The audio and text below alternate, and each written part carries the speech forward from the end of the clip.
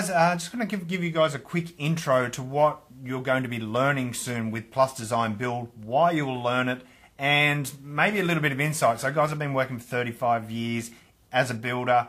Uh, a quick bit of background is when I actually did my carpentry course, I remember thinking, why the hell am I learning to build a mortise and tenon joint? I'll never use it again. And you know what? When I actually look back on it, I think it was foolish for me to think because learning to cut across the grain in small increments enabled me to, you know, cut hinges out or every day I used something I built upon the, the things that I learned at TAFE. And I think it's really important to, to value what it is you've learned, even if you're not going to use it tomorrow or today on the site. And you guys are learning SketchUp. And you might be thinking, why do I need to learn, you know, a 3D program when I'm a builder? Well, look, guys, I'm going to give you some quick examples and show you some jobs that are that are being done and and how uh, builders are utilizing it to get efficiency, uh, better customer communication, customer communication, and better subcontractor communication, and how to solve problems before they actually arise on site. Now, I've just drawn a rectangular prism there. It could be construed as a slab. It could be anything. I'm just, I'm just going to make this a group, right? Now, making it a group is one thing, and then creating frames and, and walls and everything like that is kind of slow in SketchUp, and but it's a really important thing to learn. It's just like a mortise and tenon joint. The most difficult thing to learn inside of SketchUp that, that a lot of us take for granted after we've been using it for some time is navigating. And you can see on my mouse what I'm actually doing there. And I can navigate seamlessly, and I kind of sometimes go, oh, why can't someone get that? Well, the truth is that it isn't as easy as it looks because it's a matter of where you place your mouse and what you do with it and how to scroll. You notice I'm pushing two buttons at the same time there, or I could be pushing shift to enable me to get around because it's so important to be able to get exactly to the place that you want to get so that you can continue to detail that project. Right? I say without a doubt the hardest thing to actually do inside a SketchUp is to organize it correctly to ensure we don't get sticky geometry where we said, oh, well, let's put a maybe a little slab out here and we want to move it and before you know it, SketchUp starts to do this. So organizing SketchUp and making it so that you have groups, components, tags, scenes and styles is very difficult to stay on top of and you might find it a little bit overwhelming and that's what I'm going to show you now is how we go about solving these issues. So if I drew a rectangle here and I, and I didn't want to create a group and component, you'll notice here we have no tags. If I use the PlusSpec tool to do that, I can go and click on a slab and I can choose does it want to be below the points or above the points. And if I wanted to find out more, I could simply hover over the help here. But I'm just going to do this. I'm going to make this slab above the face points and I'm going to click submit. And what it did is it created a concrete slab for me with all of the details in here, so footing details and everything like that. But you'll also notice on the right hand side in my tags, I now have floor. Right? And if I click this and I turn my concrete off, I can see my reinforcement inside of it. It's all grouped together and it doesn't get sticky so that you don't have any problems. It's organized. And as I go into drawing walls, uh, you can use up here, you can create keyboard shortcuts. I created one for walls here. I'm going to have a masonry veneer wall and I need it to step down this distance here. So I can actually choose the material that I want to put on there so I can quantify it. So you can see I've got uh, Austral Murray Grey and I've got plasterboard and I've got insulation, termite barrier, Vespol, uh, and if I wanted to add skirting, cornice and all of those type of things, very, very quickly I can add these things to my list. I can also set the step down on my wall so it works for my bricks so external clad step down, if I hover over it here, you can see this is telling me that I'm going to create a step down here. And I'm going to say 86 millimeters here. And I'm going to go submit. And I'm just going to quickly create two walls. One here and one here. Okay, and those, those walls are stepped down to the slab there so that it's actually as we build it. And you'll also notice that now I have walls in my tags and I actually have quad in there as well, which would be part of the roof. And there's a lot of other things that are starting to happen. Now, this is organisation.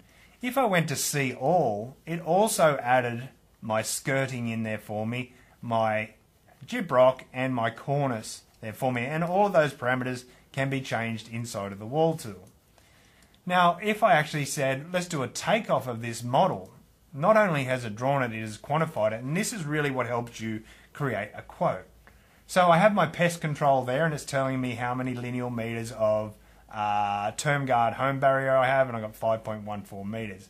I have slabs and footings. Inside of there I have reinforcement, 200 by 200 mesh. It tells me how many square meters or how many sheets that I'm going to need. And if I went to my framing, it's actually going in and telling me common studs. I've got eight common studs cut at 23.35 out of a 2.4 length. It's telling me everything that I actually need there, bottom plates, common studs, blocking, everything that's required to build it. And that's so helpful because not only is showing us what we have to build, but it's telling us how much of that product we have, and we can now associate um, trades and suppliers to those products. And the name of the game when you're building is I need to know exactly what I'm going to be building, how I'm going to build it, and what I'm going to do to ensure the customer understands what they're going to get for their money. And that's what SketchUp does, and Plus Design Build makes it easier. Now I'm going to quickly go and have a look at a couple of jobs. This is a project uh, that's been created, and as you can see, it's quite a difficult job to build. It's all pitched on site and so on, and figuring out how this would all go together to enable us to tell the subcontractors, the carpenters to put things together, the bricklayers, where the footings are going to go, where all the load bearing points are, so that we can ensure that the building will stay erected over time and to ensure that we can do it without problems. Because what we're actually doing here is we're virtually building a project. And once we virtually build a project, we can iron the bumps out and understand in our own heads what it is, but more importantly, we can show everyone else, including the client, what we're going to deliver. Now let's have a quick look at, at, at maybe an export of the model. So what this is, it's a layout drawing, guys, that it was exported with one click that automatically dimensioned the top plate because obviously being on a rake, the 450 stud spacings aren't going to be the same on the rake. So what this has done is dimension out. And this is a tool that's inside of PlusSpec that automates this for you. And you're also going to get outputs that tells us wall number one has sill trimmers at 1543 long, cut it out of a 1.8. All of this information is so important to enable us to do it because if any of you guys have actually been on site and chalked out a wall on the floor and measured off chalk lines, you'll realize how long it takes to get these measurements and time is money and the quicker you can get a job done and more efficiently you can get a job done, the more profitable you're going to be. And staying profitable is the key. But SketchUp can also be used for a lot of other things. This is a site layout on a six acre property, um, and we could be used to look at different things about the project and the riparian areas and, and contours of the project. So it's not just for construction, but utilizing it with a tool such as Plus Design Build enables us to get more out of every single day and be able to communicate better with our clients. So guys, have a play with it. Learn the important things. If you're not aware of how to navigate correctly, you really need to learn that before you go too much further. But then learning how to utilize this Plus Design Build tool set to set you up to be an efficient builder that's a great communicator, that'll mean that you become more profitable earlier in your process, and before you know it, you'll very, very quickly become the preferred builder in your area. Now, we're specifically talking about residential, but whether it's commercial or residential construction, you can still utilize these tools to ensure that you do it. And, guys, maybe a really good thing for you to see is maybe a, a demonstration model, something that's already been created. So, what I did is when you first open PlusSpec, you'll come up with this toolbar. However, if I click on this question mark, it'll bring it up again, and you'll notice you have self support there, help and support, sorry. And you can check out example models. So if you click on the demonstration model, uh, I don't want to say what I just drew, so no. Uh, no. And what it will do, it will actually open up uh, a model that's been pre-drawn. And this helps you understand a little bit from maybe a sales perspective, how do I sell a house? How would I show this to a client? And you can render these up with, with a whole heap of tools. And you'll, you'll notice if you follow the PlusSpec YouTube channel, you'll, we'll show you how to do more. But let's look at this from a builder's perspective. And we're going to look at the structure here. And we're going to have a look at the project and more about the project right into detail. Obviously, we can create elevations, whether they be black and white or color. Uh, we can update our model and we can also quantify it within a click of a button and understand what it's going to cost. But there's more about even such a simple project like this. We've got bathroom designs. How do we put wall hung toilets on there? What is the uh, issues that can be associated with it, and we can look behind and find problems. And you'll notice that that wall hung toilet is actually sticking through the wall.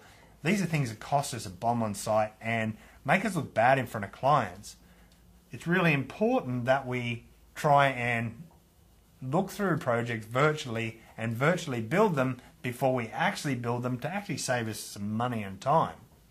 And if we let's go and have a look at this whole project, you'll notice it has decks in there. It's got split levels, bearers and joists, uh, right down to uh, site plans and slab plans uh, that you can see we've marked out the locations for toilets and penetrations through our concrete to ensure that everyone is getting things right before we start the project.